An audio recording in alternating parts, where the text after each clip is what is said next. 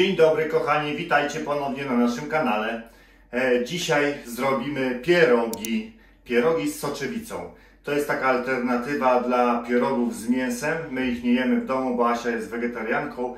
E, i ja często robię pierogi z soczewicą. Są bardzo dobre, bardzo zdrowe. No i warto sobie je czasami zrobić w domu, jeżeli jeszcze nigdy takich nie robiliście.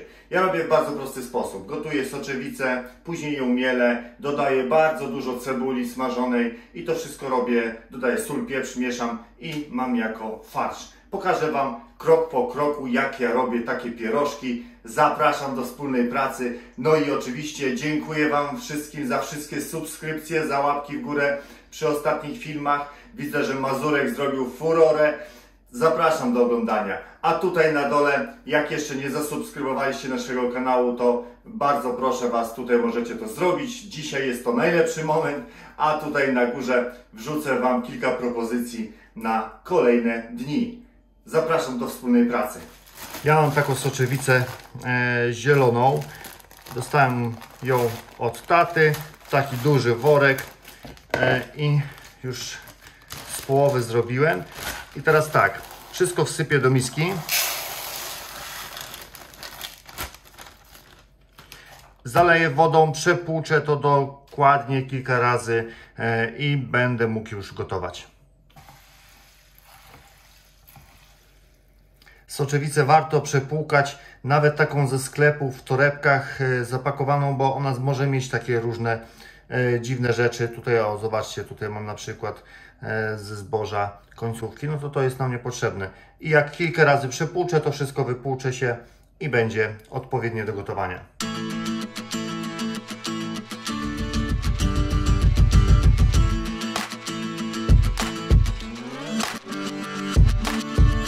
Soczewica już jest wypłukana. E, Ja zalałem ją wodą. Jak widzicie, jest ponad powierzchnię. Ja daję więcej, tak na oko, zawsze, żeby było na pewno zakryte i, i troszkę nad. E, Soczewica musi się dobrze ugotować. Dodaję dwie łyżeczki soli. E, Niech ona się tak ugotuje, aż się zacznie rozpadać. To będzie idealnie.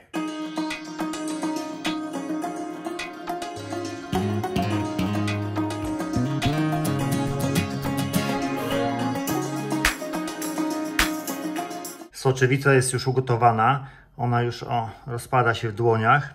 Widzicie? Mięciutka. Ja gotowałem około pół godziny. Troszkę dłużej, ale e, tak trzeba. I teraz e, trzeba ją ostudzić. Ja sobie przesypię do miski, wystawię na balkon. Jest chłodno, to szybko mi się wystudzi. Soczewica już jest ugotowana, wystudzona, jest dosyć zimna. Teraz musimy ją zmielić. E, możemy to zrobić w maszynce do mielenia mięsa, ewentualnie w innym urządzeniu.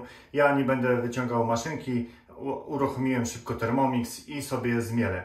Fajnie by było, żeby tak też było czuć e, kawałki tej soczewicy. Ja tak e, do końca na gładką masę nie mielę, tylko tak, żeby były zostawione małe kawałki. Zaraz Wam pokażę, jak to będzie wyglądało. Kilka łyżek wrzucę do środka. Myślę, że na dwa razy podzielę, żeby nie było za dużo. Dobra, mniej więcej na. O, wystarczy. Tyle. A czas.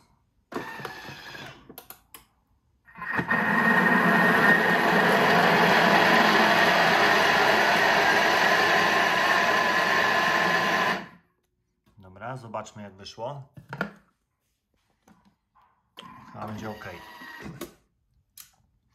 No i takie kawałki mnie interesują. Troszeczkę, żeby soczewicy było e, czuć w kawałkach i jest dosyć dobrze zmielone. I następną partię. Miska przygotowana.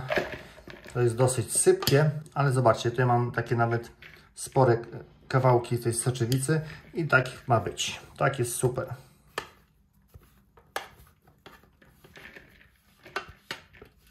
I to samo robię z drugą częścią. Teraz, gdy mamy soczewicę przekręconą przez maszynkę, zmiksowaną, e, no to możemy dalej robić ten farsz. Czyli potrzebujemy cebulę, rozgrzewamy olej na dużej patelni i dużo cebul kroimy w kosteczkę drobną i będziemy to wszystko smażyć. No to kroimy cebulę. Nie wiem, czy Wy też tak macie. Zobaczcie, cebula, a w środku popsuta. Już kolejny raz mi się tak zdarzyło, że kupuje się cebulę, jest niby twarda, a i tak jest w środku popsuta. No tragedia są te warzywa teraz. Hmm, do wyrzucenia.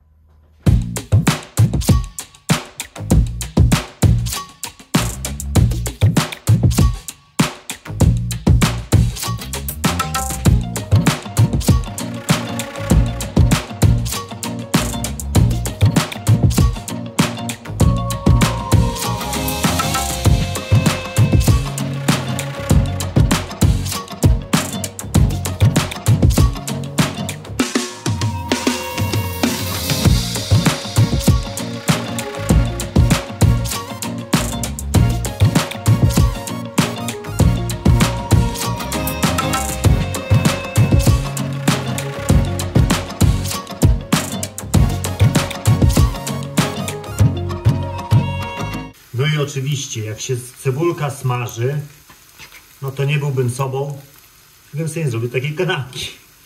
Ciekawe, czy też takie kanapki lubicie. Świeża cebulka us usmażona na masełku i taka kanapeczka. Asia jeszcze kładzie tutaj musztardę. Ja nie. I teraz całą cebulkę wrzucamy do środka, do naszego farszu. Z tym masełkiem, tłuszczykiem. To wszystko mieszamy. Dodajemy sól i pieprz, ale najpierw przemieszam całość. I teraz sól. Oczywiście na oko. Duża ilość czarnego pieprzu mielonego. Dobra, chyba wystarczy. I mieszamy wszystko. A najlepiej jak jest ciężko wymieszać łyżką, zrobić to ręcznie. Wtedy wszystkie składniki nam się super połączą. Zbije nam się troszeczkę ta masa w całość.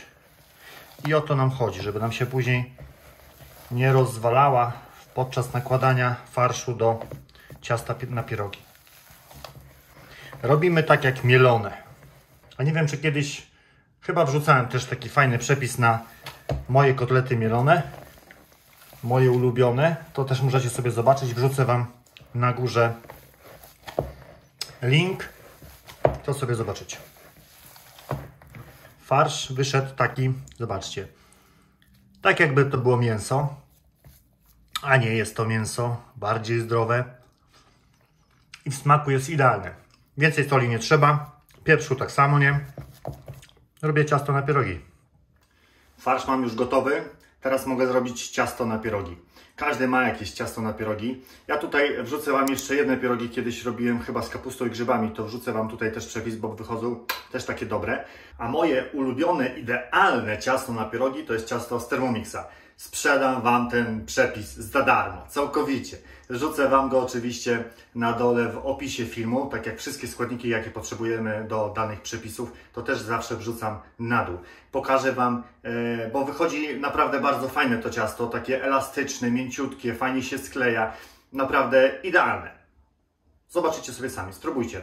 Te proporcje sobie zróbcie i wyjdzie Wam idealne ciasto. Już Wam pokażę. No to tak, wrzucamy sobie. O, mam pierogi z kaszą gryczaną i serem, bo ostatnio szukałem. I ja z tych pierogów sobie wezmę ciasto, bo najlepiej mi pasuje. Pierogów jest tam bardzo dużo, można wybierać do wyboru do koloru. Zresztą pokażę Wam. Jak wpiszemy pierogi,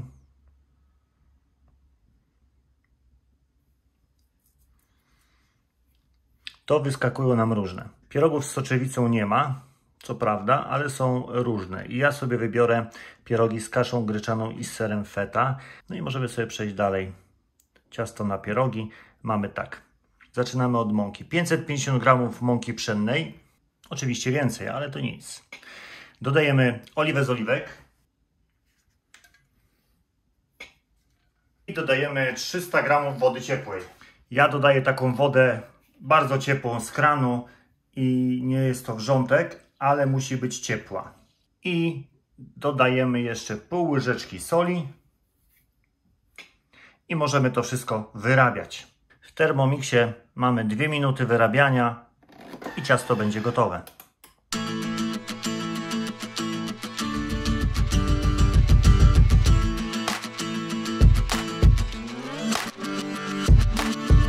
Mąką podsypuję sobie moją stolnicę. Tutaj sobie zawsze na rogu rzucam, bo ciasto tutaj postawię sobie.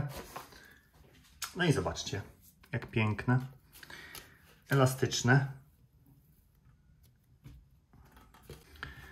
Zobaczcie, jakie fajne, mięciutkie. E, I teraz tak, odcinam sobie kawałek. To wrzucam pod folię spożywczą na rożku. Żeby mi nie wyschło, to sobie właśnie folią spożywczą zasłonię. O, w taki sposób. To ono mi wtedy nie wysycha, jest ciągle elastyczne. A to sobie rozwałkowuję na odpowiednią grubość.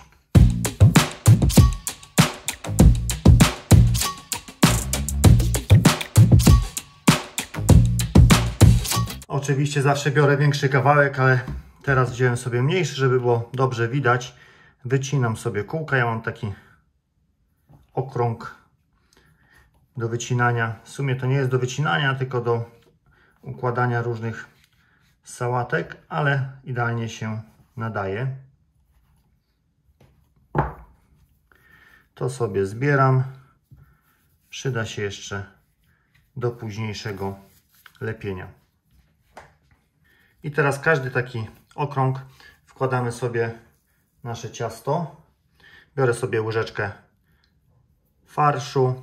Troszkę sobie muszę ugnieść do środka całą powierzchnię. Można sobie zrobić grubsze ciasto, wtedy można jeszcze porozciągać, ale ja już takie robię, że nie muszę rozciągać, tylko w ten sposób. I patrzcie, jak elegancko się to wszystko nam łączy. Nie ma problemu z klejeniem. Zawsze miałem problem, że mi się odklejało to ciasto i pierożek idzie na bok. I tak wszystkie.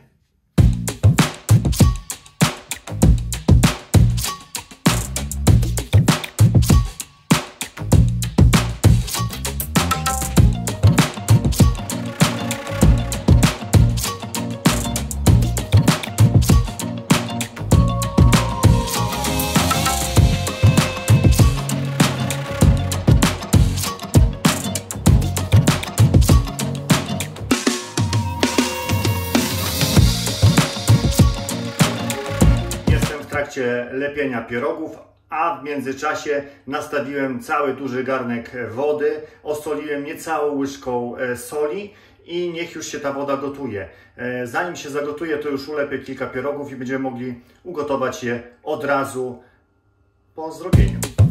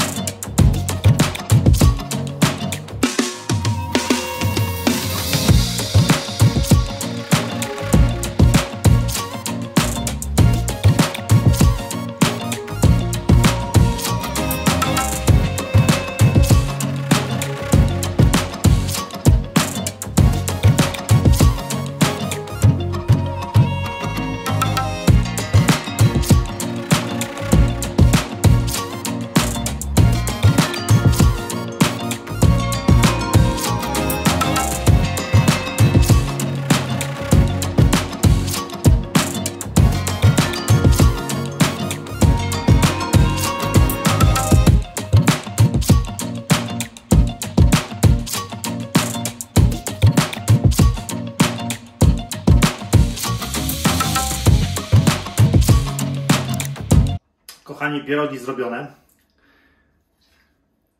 Zobaczcie, jak się one pięknie prezentują. Nie byłbym sobą, gdybym nie spróbował. Bardzo dobre. Jak zawsze, bardzo dobre.